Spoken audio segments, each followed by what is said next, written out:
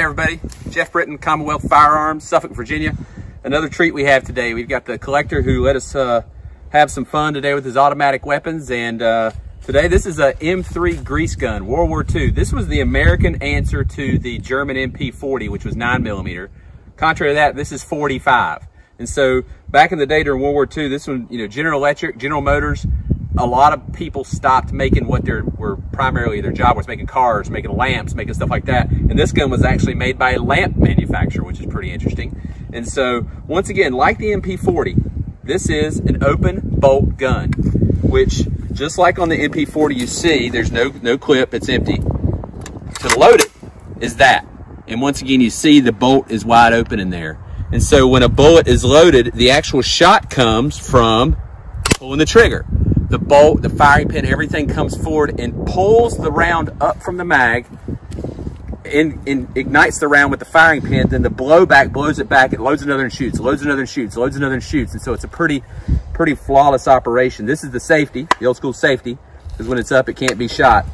Um, you can see these guns were made, it's a grease gun because it looks like a literal grease gun, something that you would use to use caulk in your house or anything like that.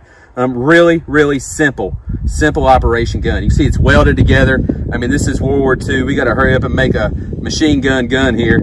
And uh, it's really an interesting gun. It's got a shoulder, a detent here that you push in, extends so you can fire the gun from a shoulder position. It has a sight on it, or you can still fire it from the hip any way you wanted to do it, just like the MP40. So I got a clip with about 15 rounds here, of 45 ammo. We're gonna run, run it through it you see what happens. Gun's hot. Fire in the hole.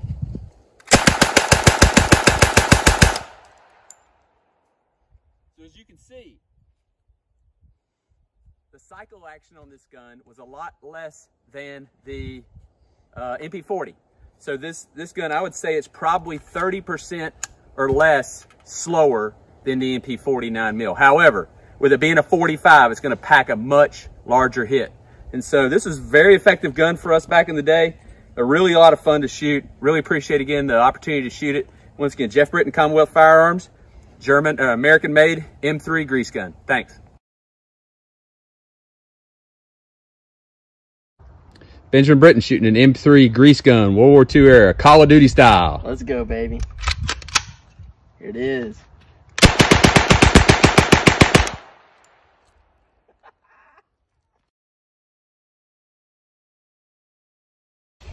Jacob Brittain shooting an M3 grease gun from World War II, full auto.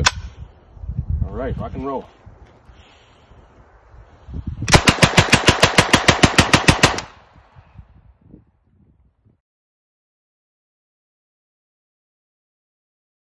All right, Jonathan Brittain shooting an M3 grease gun, 1945.